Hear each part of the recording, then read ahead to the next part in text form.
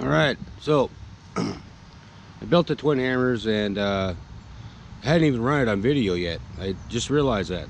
But uh, anyway, I uh, went into Castle Link and I set this up so um, we could uh, watch this thing, um, see if it can crawl.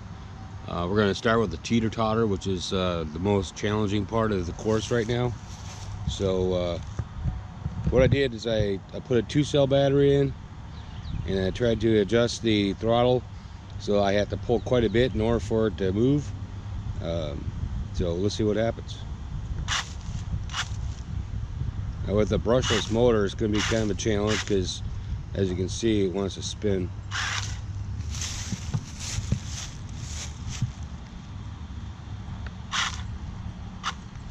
And on the teeter-totter, throttle control, wheel spin is crucial. See? Uh, so, let's cheat. I'll reposition. See how many times I have to cheat, okay? We may have to skip this all together and go around to the rest of it.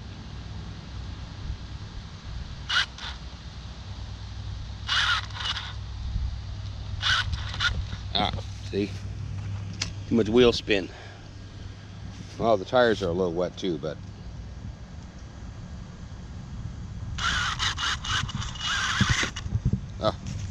All right, we're gonna skip the teeter-totter.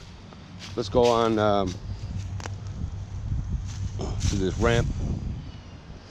Really, I should put some rocks or something down here. Okay. This isn't going to uh, interfere with the teeter-totter's operation normally because as this comes down, actually comes down onto this half pallet, as you can see. All right, so we're just uh, help whatever truck out with that approach angle right here. And uh, since we have a, a wide area, um, even if it does spin goes to the side, hopefully compensate. All right, here we go.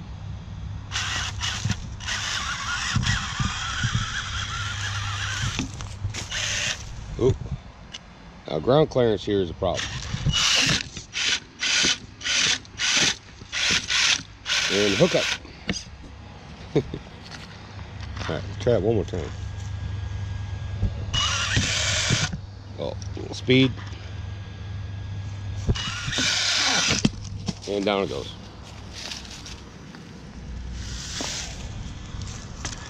Alright, let's try it again.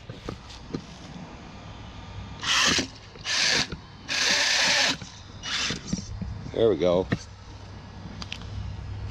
I would say it probably can crawl, but the amount of practice you would need to make that happen be pretty much a lot.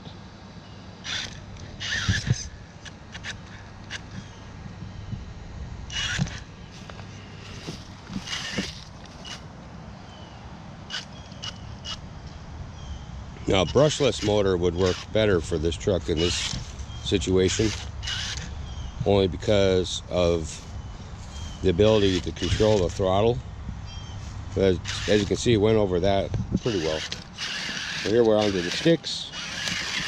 Oh, I almost drove off myself without any help from the truck. All right.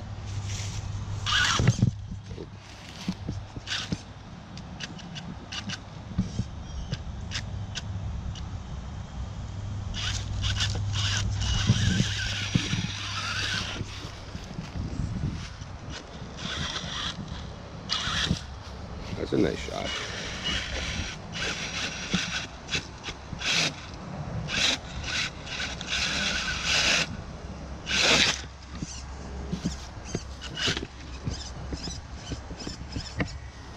Uh oh, what do I do now?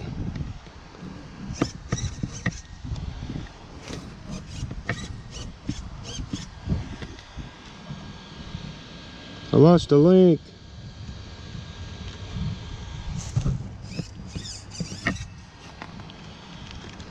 What'd I do? Something broke.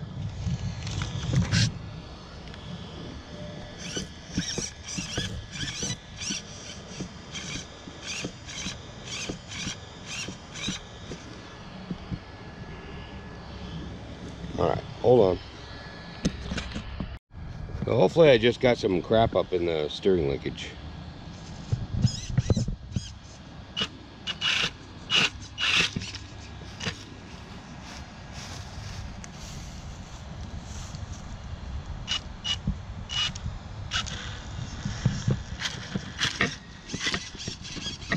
It's gonna be hard to finish without steering, isn't it?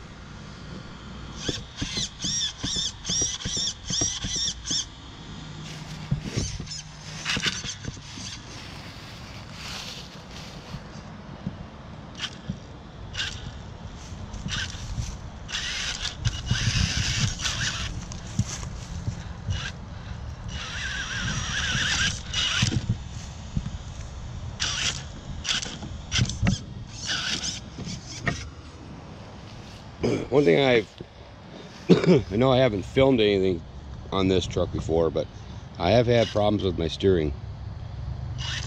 So may have to do something about that. I can't steer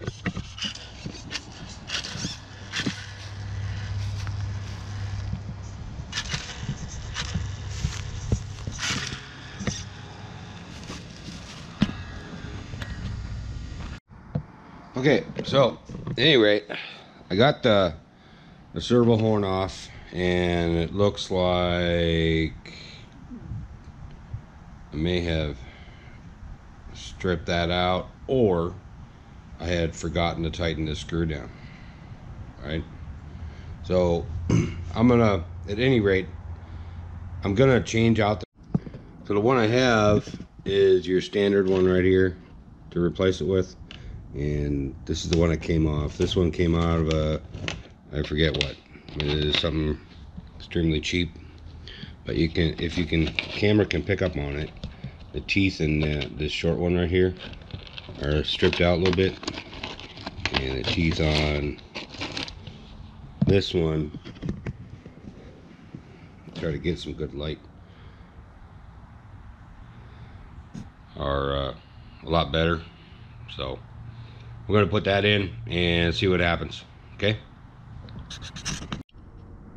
Okay, so I got the new servo horn in. Uh, everything's nice and tight. I didn't go through step by step with y'all because, well, there's quite a bit to do. What I'm going to do is I'm going to leave the side panels and the hood off just uh, in case there's another issue. Uh, it makes it a lot easier to get to. So uh, I'll just throw the wheels on. Let's give it a try again.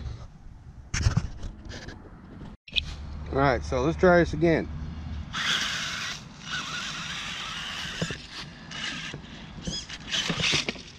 Ah. Darn throttle.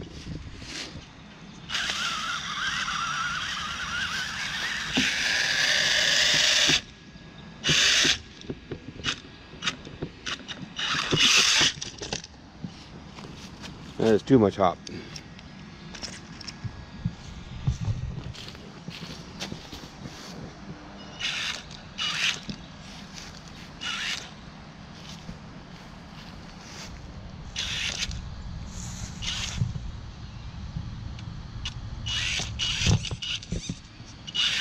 Sure does better when you can steer, huh?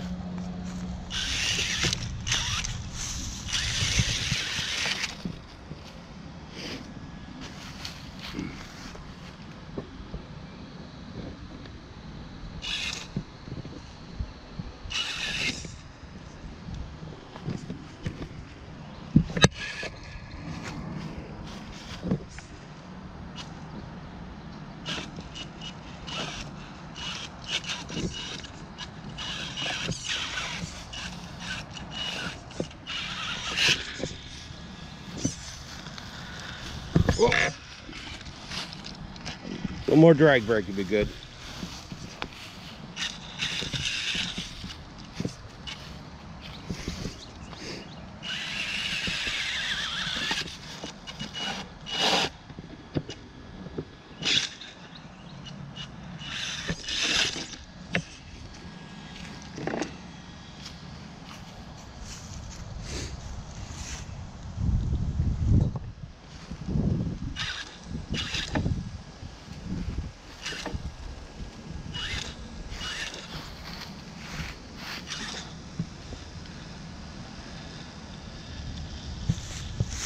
So I just let it idle on down. Just enough drag brake at this angle. Have a controlled descent. All right.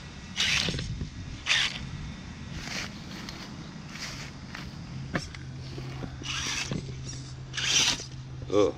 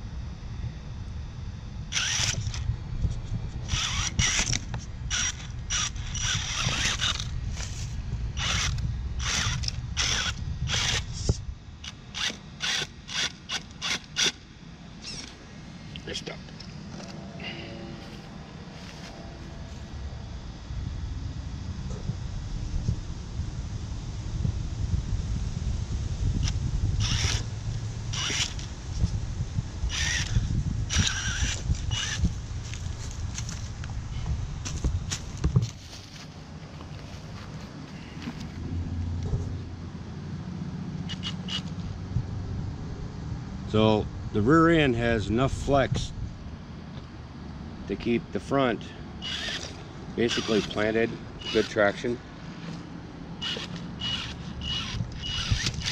Watch it make a liar of me.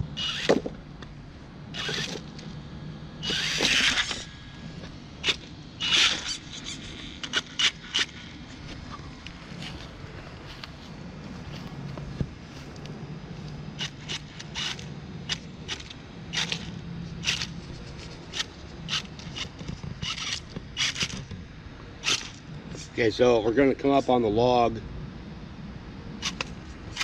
which will require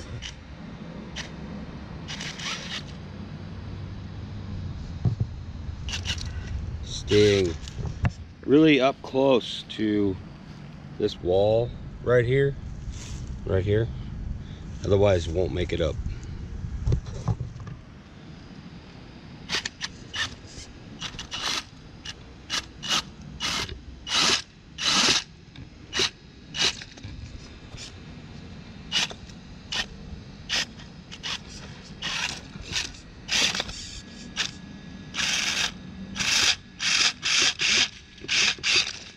Ooh. This brick.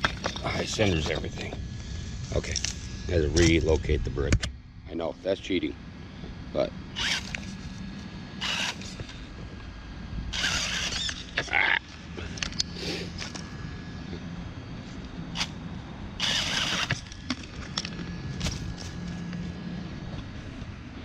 So like, here's what I mean about having to get on this just right.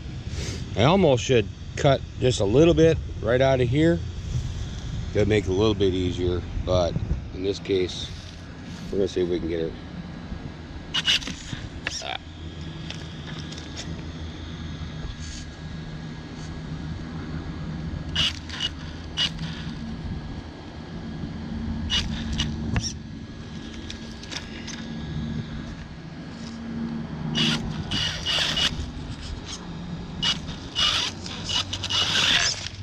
Almost, almost.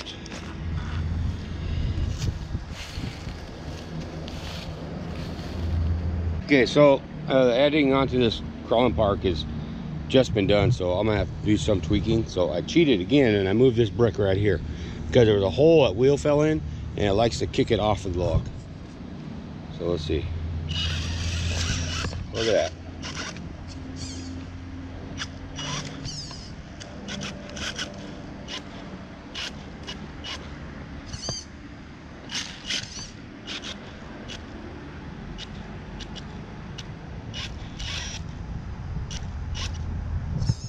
Think what's going to get me right now is ground clearance. Ah, yep. Since I don't have the ground clearance a lot of the other trucks do, right here, gonna be a problem.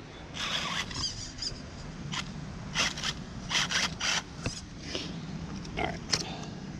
So let's go and take this brake. It's not doing anything. We'll put it right there. I think I got another one. This is all rotten inside. Let's stick down in here. Let's try that. Start from that position.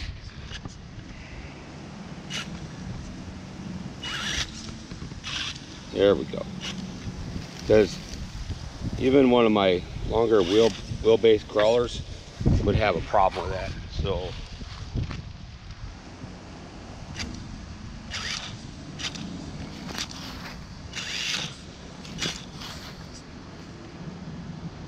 Alright.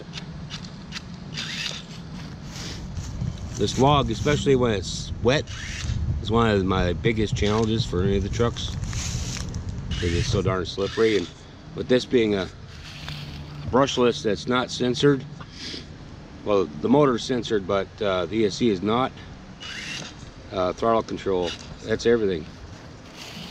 Uh, wheel speed doesn't solve everything, but throttle control uh, does. See how I'm trying to, if this log was wet right now, I'd probably be already off.